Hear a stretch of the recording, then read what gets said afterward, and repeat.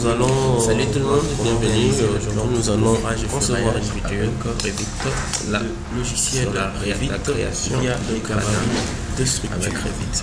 Très souvent, il arrive nous allons euh, faire, nous allons faire euh, cette cette euh, formation dans cette vidéo conception moyennant un avec exercice. Revit. Aujourd'hui, Nous allons essayer de faire une petite modélisation et nous allons voir comment y placer pour réaliser des gradins armatures. avec Revit. Sur ce, nous allons évoluer avec les modèles. Vous êtes déjà des utilisateurs d'architecture. Donc, nous allons aller placer, Nous lançons. notre gabarit architectural avec le gabarit de structure. Alors, pendant que le programme ouvre pour nous donner la page, Nous ouvrons les l'espace de structure. j'en profite. Euh, nous rappelons une fois de plus pour plus de vidéos à venez venir sur notre page page via sur notre chaîne YouTube. YouTube. Euh, ma chaîne. N'hésitez pas à écrire écrire Manu Manu Damasser Damasser sur YouTube. recherche, prenez ma cette adresse. Ouais. Vous les tapez, vous verrez de pas mal de vidéos, non seulement Revit, Revit, Infrarouge mais 360, plus de vidéos, 3D, et surtout, bref, euh, la, la de majeure partie, si pas tout Autodesk logiciel est dédié Autodesk dédié au génie. Alors, let's come back now. Là, nous révélons It's now donc, 10:15 c'est a.m. donc, euh, Néanmoins, j'insiste, donc euh, il faut une machine assez Revit fait partie des logiciels minimum un i7. Donc, euh, il vous faut Minimum un i7. Il faut que Votre machine ait une bonne Revit fait partie des logiciels Minimum de i7. Les plus capricieux sur le marché. Revit, Alors, les- nous allons concevoir les un gradin euh, le rare logiciel avec euh, euh, comme euh, l'analyse et puis la conception. largeur. Il prend en charge Donc, la largeur aura un mètre, dimension et une profondeur de fait 50 aussi cm. Et tête ce, aussi, par vérifier les les éléments. la topo, l'équation est, euh, l'électricité. euh, Donc, je suppose que je suis en face des utilisateurs. Très vite. Pour ceux pour bénéficier de plus en haut, niveau niveau 1, 1, ok, tu change carrément ce niveau. Vous devez encore Là, je vois que je suis déjà un mètre. des éléments complémentaires. Alors, nous avons notre modèle euh, de structure. Là, nous avons sommes dans l'espace dessin. Nous allons vérifier nos Je élévations. vais au niveau, nous allons Envie un plan, plan des tâches. Niveau Nous 0. voyons que nous avons niveau 1. À partir de là, je vais réaliser mon grillage. Je peux le ramener à 1 mètre. Je place un premier programme là, 1 mètre, que j'appelle 1. Et de là, je rajoute 1 mètre. Et deuxième, éviter ces désordres que je vous ai appris dans les vidéos précédentes. Donc euh, là, niveau 0, c'est moi je pense que je vais réaliser. Donc je le place, 1 mètre, au niveau structure, je le place à moins 0,5. 1 mètre, moins 5 cm c'est plus bas. Et je prends encore, je dispose 1 mètre. Alors, euh, celui-ci, je le place à 3 mètres 35. 1 mètre 3,35. Puis, je vais créer Notez un autre vous niveau pouvez directement je vais placer, placer sur euh, le moteur de 3 un réseau, un réseau d'axes. Il suffit de choisir, de cliquer et puis d'appliquer là. Réseau. It's Sans now appliquer sur 12 réseau, p.m. Mettez les nombres et vous allez, vous avez directement le nombre. Je vais l'aligner. Je vais vous montrer cette technique assez simple et ordinaire. Pour aller élément par élément. Ici niveau à mettre. Je vais ajouter un mètre.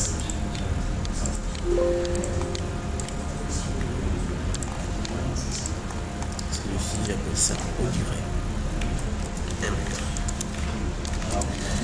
Voilà. Alors, nous avons, nous avons. Nous allons partir maintenant l'environnement. Nous allons placer notre trame dans ce sens, dans ce sens environnement. Je vais appeler ça A. Nous avons un gradin qui s'étend en longueur et ça RPC qui s'étend sur, euh, sur 10 mètres. Vais au niveau RDC. Je vais 10 mètres pour faire mes grillages. Je fais alors nous allons partir au niveau de mur. J'appelle ça le mur porteur. Il est là, à je prends un mire de base générique, fait descend, je laisse, pas de problème. Je vais au niveau des contraintes, je mets d'abord hauteur, Ok, ça c'est checking box hero. Puis lien 1, 3 mètres. Je dois me rassurer que je suis au niveau 0, c'est bon. Tout est bon, Anthrax, ok. Je les prends. Et là, c'est ce qui est de je ramène jusqu'à ce qui est de l'axe horizontal. Je fais écharpe là. Je vais sur je vais bien placer mes caméras pour bien visualiser ça. Je vais placer mes caméras. Je vais au niveau de cette vue là, plus bas, je suis à 90 degrés. Je vais au niveau de cette vue là, là. Voilà notre élément, je le place en quelque sorte. Je vais passer détail élevé, mode couleur uniforme. Voilà notre élément. Alors ce que nous allons faire maintenant c'est créer notre gradin. Nous allons modifier ça à chaque fois. Alors sur ce, modifier les grands modifier les profils. Je vais là. Nous avons nos âges. Je les 50, 0.5. Puis je vais là, horizontal. Je descends encore les 50, 0.5. Je vais là, horizontal. Déjà, commence encore les 50, 0.5 modèle. Et je reprends l'opération. Je vais me rassurer que les caméras sont bien en place. Je reprends le bien placé pour représenter mon modèle. 0.5.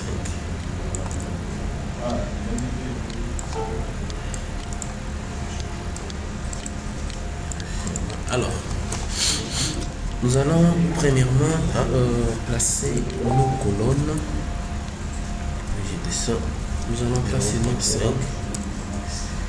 puis là je vais aller je vais au niveau je vais prendre l'élément de couper ici. Je vais couper à ce niveau. Je vais à ce niveau. Je fais échappe deux fois. Je prends le compteur je clique. Delete. Je prends celui-ci aussi architecture je vais valider tout architecture. Nous allons voir notre élément créé en droite je télécharge ici Là, nous avons déjà les profils de notre graphique. Alors sur ce, ce que je veux faire, photo, euh,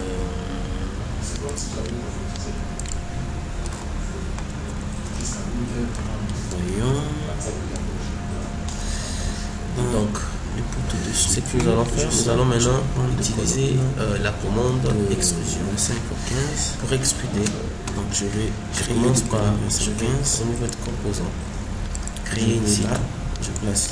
Je vais, je vais associer mon gradin aux escaliers. 25, je vais dupliquer escalier pour que j'appelle ça escalier gradin. La nouvelle colonne. Ne puisse passer dans tes gradins anciennes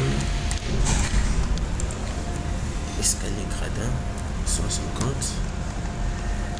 j'ai choisi l'élément d'extrusion je extrusion. Je vais choisir la face A extruder 150 je vais faire un petit design.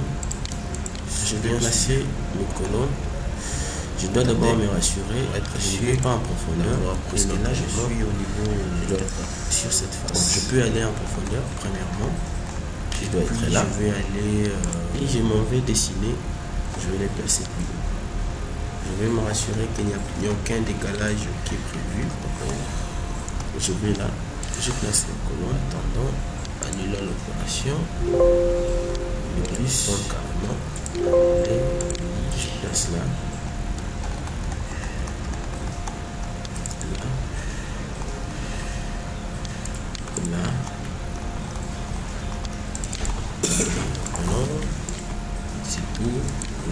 Que les colonnes, on peut les roter, on peut les roter via, en utilisant l'espace l'espace du clavier. ça vous permet de, de roter vos colonnes. Nous sommes en train de placer nos colonnes. Pour vous rassurer aussi des choses que vous avez bien placé au niveau vraiment au milieu, juste au milieu de votre colonne, c'est que quand je suis là, c'est l'axe horizontal qui est en surbrillance. Là, c'est l'axe vertical. Pour mieux le placer au milieu, c'est lorsque je suis là, les deux axes sont en surbrillance. À ce moment-là, vous êtes sûr de l'avoir placé au milieu.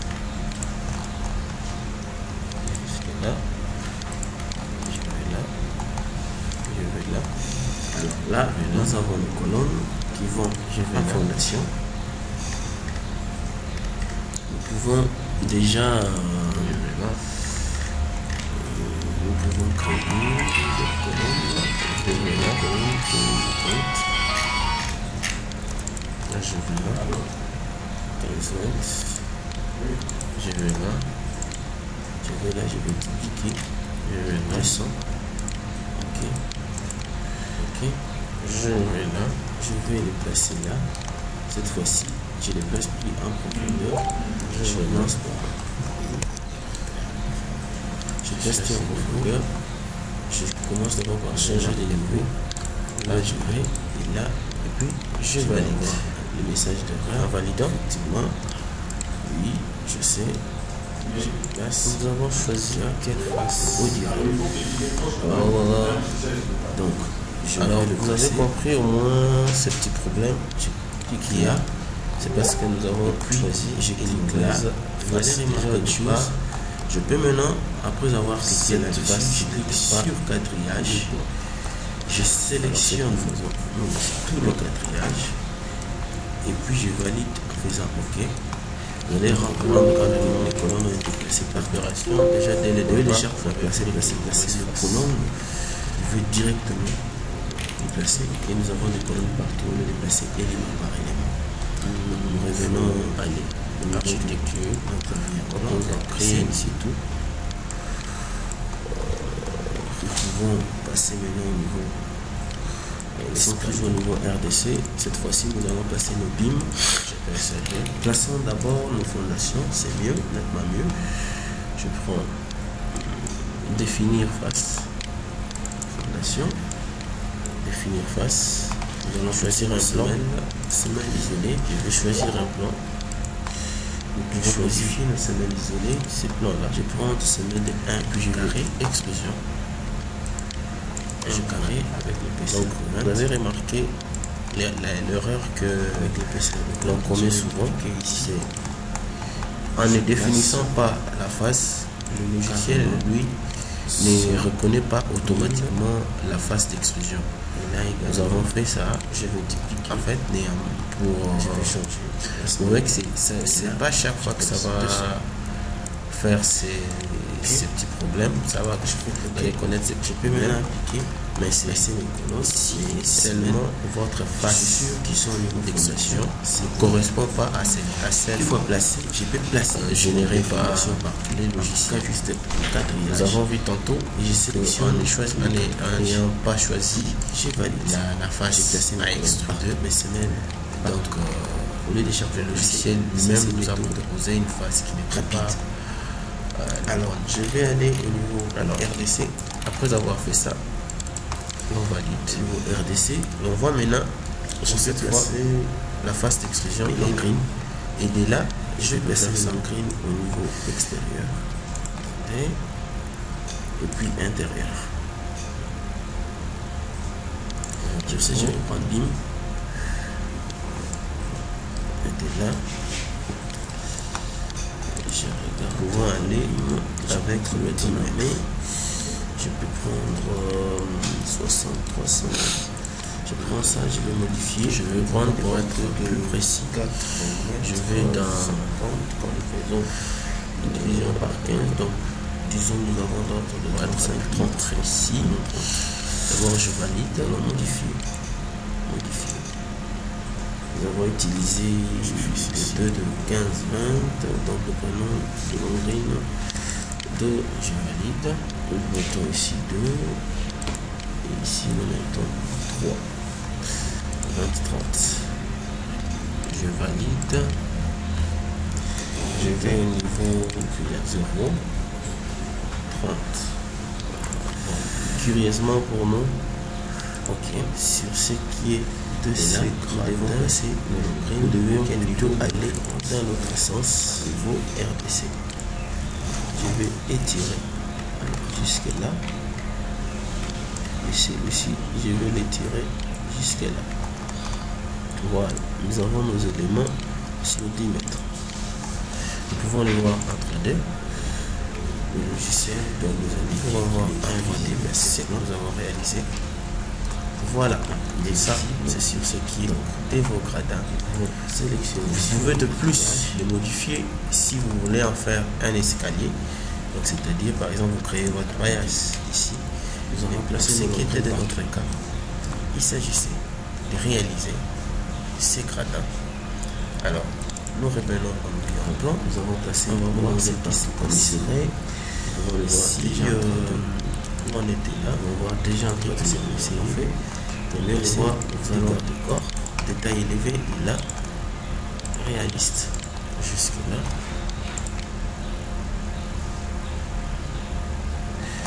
On a placé dans ce sens-là. On souhaite placer également ici. On souhaite placer également ici. Voilà, également ici. Là, ce sont nos éléments. Nous avons les éléments que nous avons gardés corps et les contours arrière également revenir intéressant. It's now 10:30 a.m. fois, je pense va passer un mur de base. Le mur des bases des contours là-bas. Alors, on peut voir ça. Le mur des bases des contours. Voilà, nous pouvons le faire. Il a placé ça à l'horizontale dans tout le contraire qu'on a fait comme ça nous allons simplement vous pouvez placer le nom de votre au niveau euh, au direct dans le niveau au direct alors il peut il peut se faire qui est ce ah, là il y a quand même donc je vais prendre poutre bim poutre nous sommes à quel niveau? Je pense, je pense cette fois-ci, je vais modifier. Je diminue la base ici, est très à l'horizontale 15. Je vais dupliquer ici 150. Plan 151 d'abord.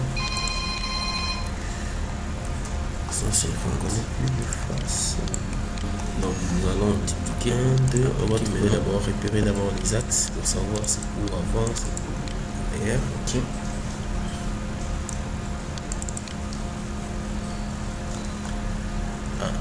c'est 9 donc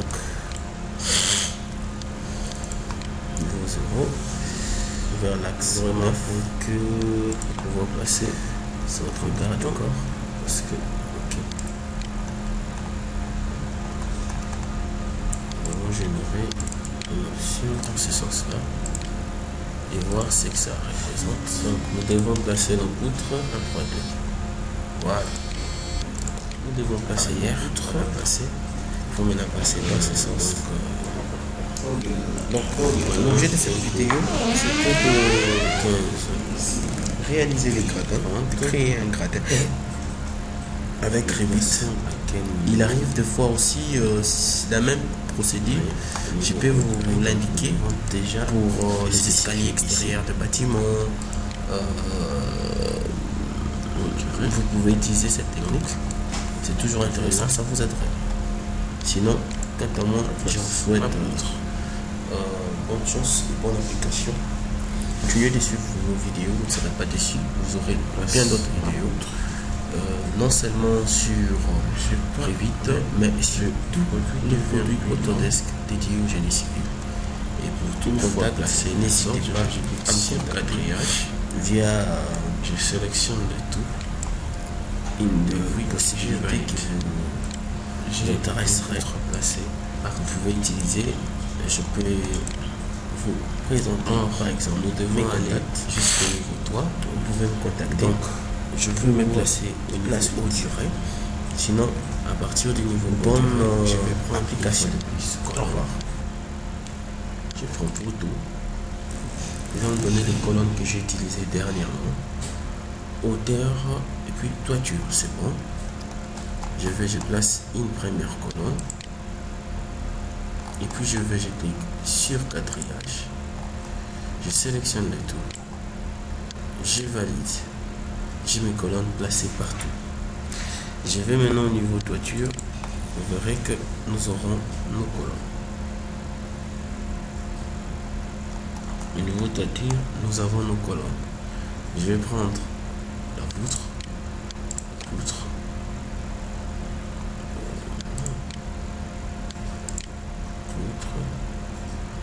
On nous demande de choisir un plan.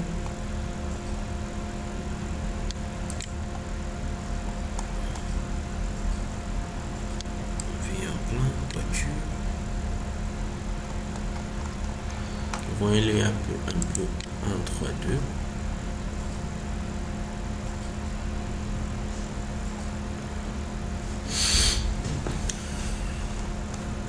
En 3, 2, jusque là, les modèles réalisés, les éléments réalisés sont là.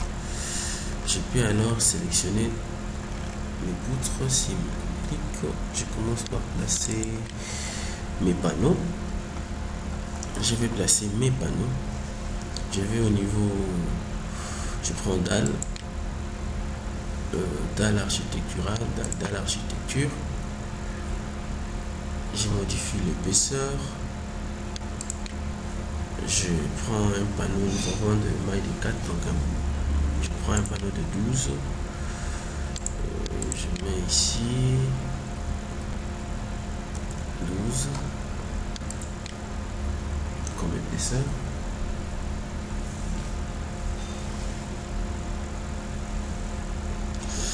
Je spécifie là que c'est 120 dans 12.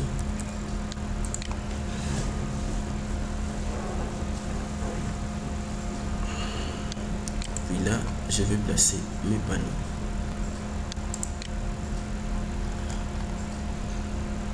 Je peux prendre celui-ci. Je prends à ce niveau. Je vais jusque là.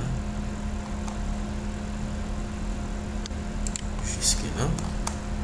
Et puis de là. Je prends à ce niveau.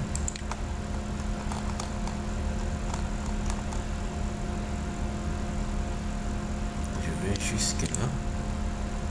Et de là. On va rentrer sur le quadrillage et puis. Quand déjà j'ai pu générer les tout. C'est pas des mêmes mailles. Donc, euh, je prends là. Jusque. Oui, jusque là. Et puis là.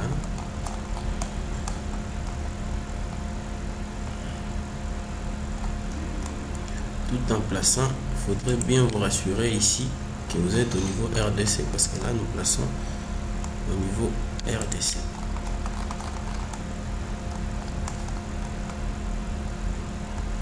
Vous allez remarquer une chose, je pouvais euh, placer mes panneaux panneau par panneau, c'est-à-dire je place, je valide, je clique encore, je place, je valide. À ce moment-là, le logiciel va considérer les panneaux de manière indépendante. C'est-à-dire lorsque vous sélectionnez un panneau, il ne prend pas l'ensemble des panneaux. Mais comme nous le plaçons de la sorte, il considère comme si c'est une même dalle. C'est-à-dire, lorsque vous sélectionnez un panneau, il sélectionne le tout. Ça a des avantages comme des inconvénients. Par exemple, vous voulez modifier un panneau, un sel, vous aurez des difficultés parce que lorsque vous allez sélectionner, il va prendre le tout. Ça aussi des avantages, lorsque vous voulez modifier tous les panneaux, sélectionner un panneau, il vous donne, il intègre partout. Alors là, nous avons placé nos panneaux. Voilà, les panneaux sont là. Je peux le copier euh, au niveau étage. Je fais copier, coller, aligner. Quel niveau je choisis au durée. Je peux voir ce que je fais en 2-2. Sauf que celui-ci, je peux le ramener à une dalle de 8. Au niveau rez-de-chaussée, je peux ramener ça à une dalle de 8. Pour modifier un panneau que vous avez déjà conçu, par exemple là, ce que je fais, c'est que je sélectionne les panneaux. Sélectionne les panneaux, je vais ici modifier. Modifier, je mets 0,8. 0,8. Et là, je déclic, j'appelle ça 80. 80, je fais OK. J'ai un panneau de 80. Oui. J'ai un panneau de 80.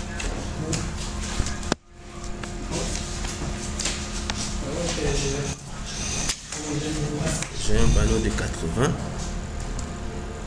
Donc, nous pouvons faire de même. Allons maintenant au niveau euh, toiture. Au niveau toiture, nous prenons poutre. Choisir.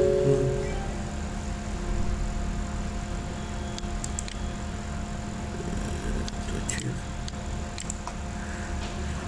Nous placer le poutre. 15-30 je fais là. Je le place là.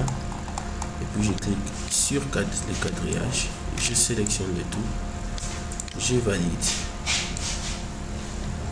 J'ai mes poutres ainsi placées. Je peux le voir en 3-2 j'ai mes éléments en 3-2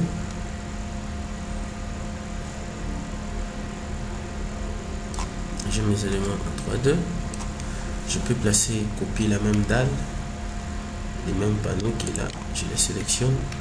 Je fais copier coller aligner au niveau. Je le place cette fois-ci au niveau de toiture j'ai l'élément placé. Alors le modèle qu'on cherchait c'est celui-ci où nous allons faire nos ferraillages alors sur ce la première des choses c'est que nous devons passer à une vue des structures parce que ça c'est une vue généralement d'architecture où l'on a besoin de plus de tous ces, tout ce détails. Mais nous nous avons besoin de voir ce qu'il y a à l'intérieur parce que nous devons voir nos armatures. C'est ainsi je vous recommande image filière. Image filière vous permet de voir l'intérieur. Sur ce je commence par le plan RDC je vais me mettre au niveau toiture. Au niveau toiture. Du niveau toiture je fais je vais placer maintenant mes éléments de d'information. Je fais une coupe d'ensemble dans ce sens. Une première coupe. Je me rassure bien le champ de vue de cet élément. Je fais une deuxième coupe dans ce sens là. Et puis je veux prendre l'élément de détail. Je veux sur vue repère. Je prends un repère rectangulaire. Je vais placer mon repère rectangulaire sur cette semelle. Admettons que c'est notre semelle euh, critique. Je prends là. Je fais de plus une coupe une petite coupe là euh, qui me donne euh, une semaine là. Je fais une petite coupe là. Je change de sens. D'accord. J'ai en fait effectué 1 2 3 j'ai eu trois coupes et j'ai trois coupes et un élément de repère. Nous pouvons voir nos coupes, nos éléments de repère là et coupe. Sur coupe. La première coupe. La première coupe est là. Notez que nous n'avons pas placé les terrains, sinon on aurait vu le niveau terrain. Mais c'est pas important pour nous là. Nous pouvons voir nos dalles sont là, coupées. Et là où nous avons fait, nous avons placé nos coupes nous n'avons pas coupé Nous pouvons voir. Les éléments en surbrillance sont des éléments coupés. Ça, c'est l'autre coupe. Et là, c'est la petite coupe. où nous voyons que la semelle est coupée. Où nous voyons que la semelle est coupée. Néanmoins, je pense qu'il est, je pense qu'il soit utile. It's, now 12:30 p.m. couper vraiment, vraiment, vraiment euh, découper au niveau de la poutre ici. Et faire une coupe. Je fais ça. Je ferai ça.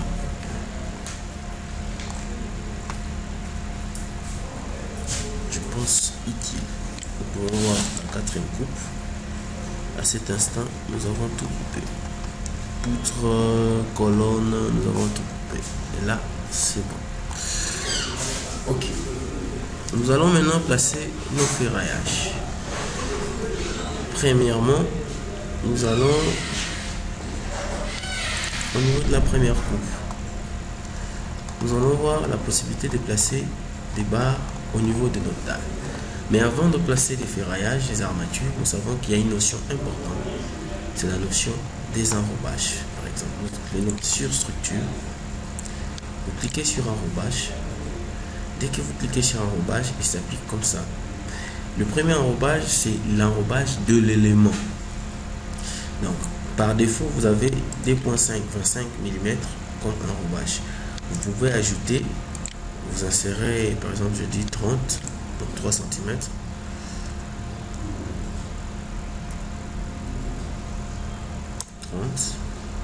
J'appelle ça enrobage armature 2. J'ajoute encore un autre. Je prends, j'appelle ça 4 cm.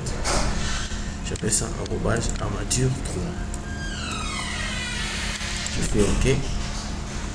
Pour l'appliquer, il suffit d'être là, de cliquer si je clique, vous voyez que par défaut, c'est l'enrobage 1. Mais je peux changer, je me dis, c'est l'enrobage 3 qui soit appliqué. À ce moment-là, nous pouvons voir l'enrobage. Nos enrobages sont là, sont visibles au niveau des éléments coupés. Ok. Nous allons sélectionner par exemple cette dalle structure enrobage nous allons placer 2.5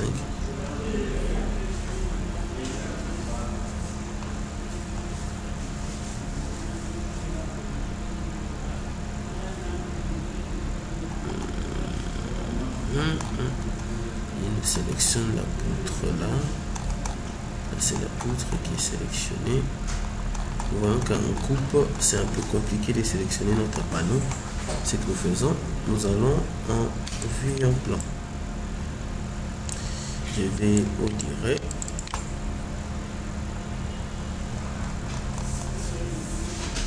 Je vais chercher à sélectionner mon panneau. Euh, je vais masquer d'abord ceci. Je vais masquer cette catégorie. Là, j'ai maintenant mon panneau structure. J'attribue un enrobage de 2.5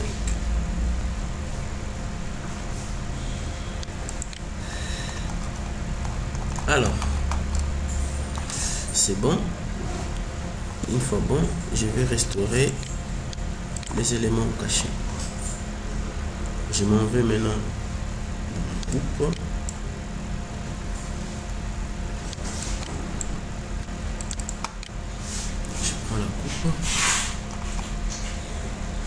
cette coupe on n'a pas non pas là-bas ici par exemple nous voulons placer des armatures ici sur ces ce que je fais je sélectionne la dalle je sélectionne le panneau je vais au niveau des structures je clique sur armature la définition, oui, je valide, ok. J'ai quel type de barre? Je prends le premier type de barre. Ce sont des barres que je vais placer là.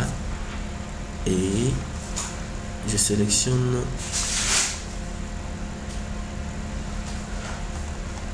ce l'élément qui est choisi c'est pas les panneaux qui est choisi je commence par placer au niveau de poutre donc je change d'orientation je prends perpendiculaire à l'arrobage. On peut déjà voir une fois que j'ai pris perpendiculaire à l'arrobage je change de, de catégorie je vais passer par exemple 4, 4 barres de 12 donc 4 barres de 12 ok. Perpendiculaire je place la première barre là-bas. Seconde barre. Et je clique je fais MM sur clavier je vais au milieu là. Je vais là autour de cet axe je sélectionne je sélectionne. Je fais MM miroir par rapport à cet axe j'ai mes barres qui sont normalement des barres de 12 et qui sont filantes là nous avons placé nos armatures dans ce sens. Notez qu'on peut les déplacer. Mais néanmoins nous avons besoin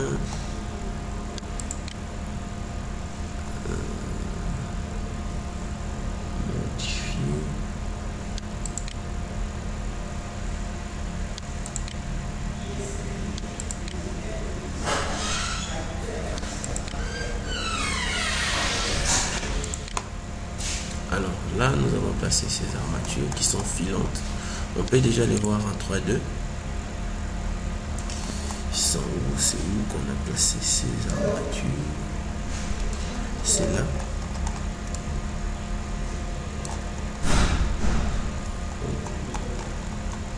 On les a placés où?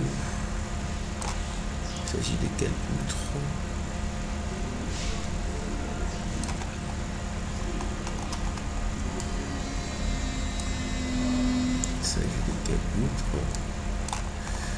Bon, nous allons les repérer. Revenons. Dans quel poutre C'était pas là. Là. Je clique sur armature. Je vais sur jeu d'armature, un unique. Place espacement maximum. Là, j'insère d'autres armatures. Je vais réduire l'espacement. Ok, c'est bon. Là également. Espacement maximum. C'est bon. Je clique une fois de plus sur armature. Cette fois, je prends cadre. Je vais dessiner. Je sélectionne l'élément dans lequel je vais dessiner. Je vais cette fois prendre comme ça. Faire ça. Et quatrième comme ça. Je fais échappe je vais cette fois là je prends des barres de 6 des barres de 6 je vais euh, valider d'abord. Et puis impossible euh, impossible d'être là parce qu'il est hors de notre enrobage. Ce que nous devons faire c'est d'abord les supprimer. Annuler l'opération oui. Venons là nous supprimons nos armatures. Nous devons commencer d'abord par placer nos cadres et puis placer nos armatures par après.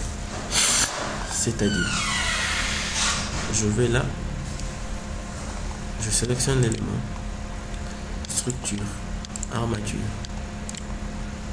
Je prends quelle forme d'armature? Je prends la forme 33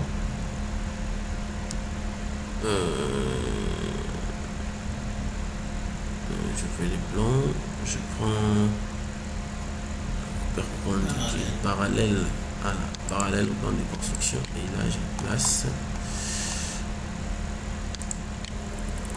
Je sélectionne la poutre je sélectionne. Donc là mhm. dessiner je sélectionne ok. Et puis je vais dessiner. Je fais ça.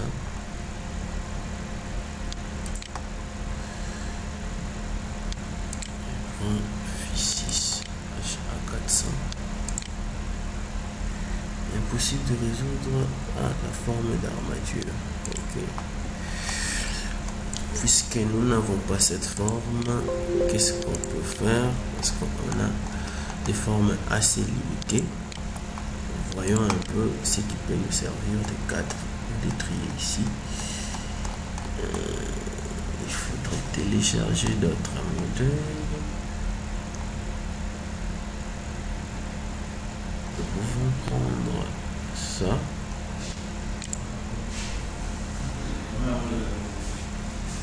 parallèle au plan de construction ok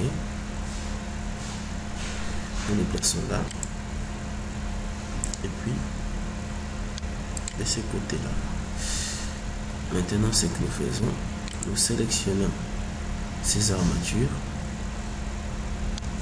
nous sélectionnons nous les plaçons d'abord en barre de 6 et puis deuxièmement j'ai d'armature espacement maximum et nous mettons les pas de 15 150 ici. Il faut 150 000 nous pouvons revenir maintenant sur structure. Quitter d'abord. Structure. Je prends les armatures. Je vais mettre maintenant des armatures filantes. Je prends je change l'aspect perpendiculaire cette fois là je place mes armatures là. Et l'autre je le place là. Et l'autre une fois placé pour un bon alignement je clique le D je fais MM comme miroir. Je le place par rapport à cet axe. Donc nous avons généré à ce stade 4 armatures 4 barres de 12 et de, 4 nous pouvons le voir.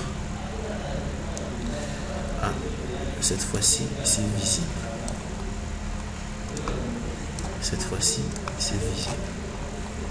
Nous pouvons le voir là. Cette fois-ci c'est visible.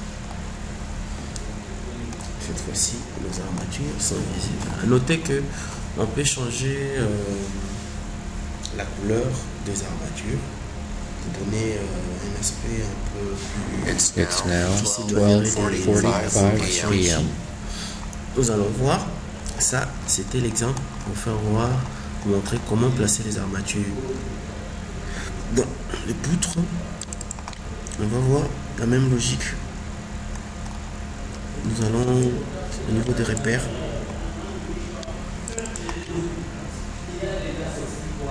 au niveau de repères nous avons notre repère qui est là. Le repère associé à notre colonne.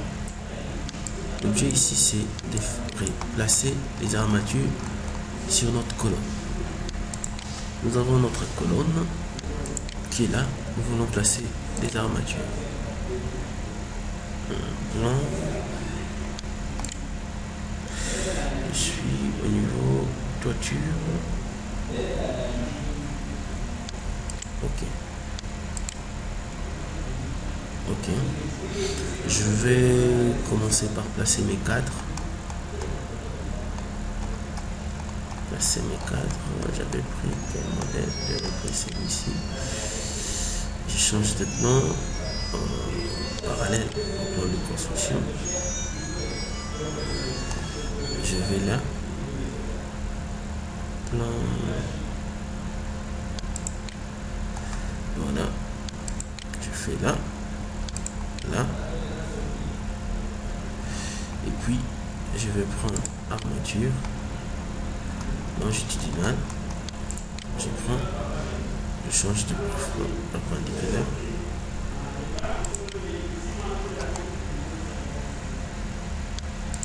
je fais là.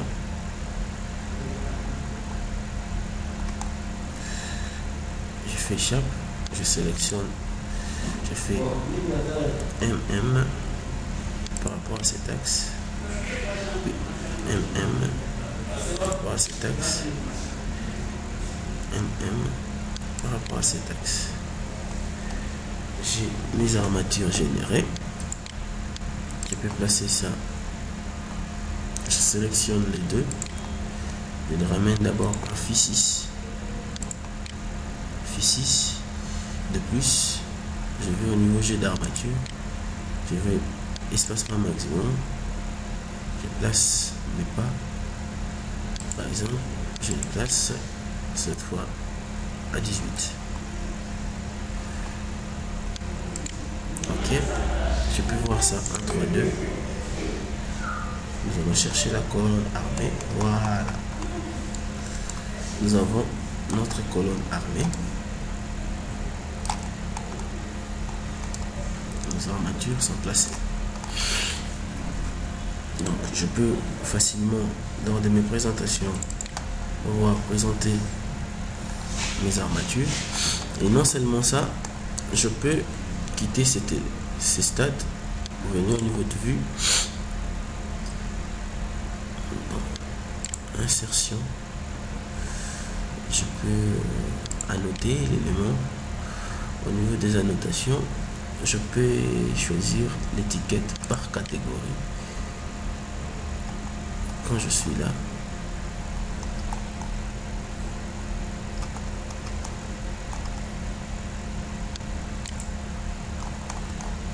J'ai HA euh,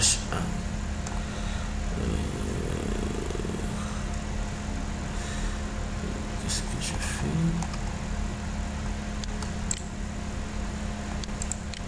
Bon nous allons voir la présentation à la fin. Sinon là ça risquerait à mourir alors là il s'agissait des colonnes. On a vu que pratiquement pour les colonnes et les poutres c'est pas aussi compliqué. Parce qu'on peut annoter les éléments comme ça. Là il me donne les informations sur le les poutres. Sur les poutres de 1530 ok là il n'y a pas de problème. Mais revenons maintenant au niveau de nos coupes